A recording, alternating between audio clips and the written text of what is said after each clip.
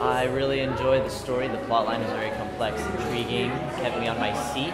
Uh, the film was really good. It um, had a good gospel message in it, and it was really well done.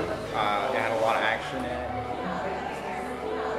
One thing that really impressed me with Creed of Gold was uh, just the look of it. I mean, it, it, was very visually interesting. The cinematography was amazing on it, and, and when you start watching it, pulls you in so much. You get involved with the characters.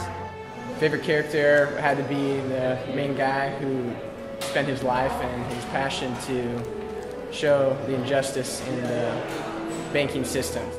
I loved all of the characters. There was uh, Cody, he was the computer uh, nerd who kind of got him out of trouble. And I liked the character of Kirsten a lot. The actors were amazing. It was well done. Uh, it had a nice storyline to it, and a lot of build up and then the ending was really good. The movie moved. It, there was never a dull moment. It was unpredictable. You weren't like it wasn't predictable. And it, it had a great message.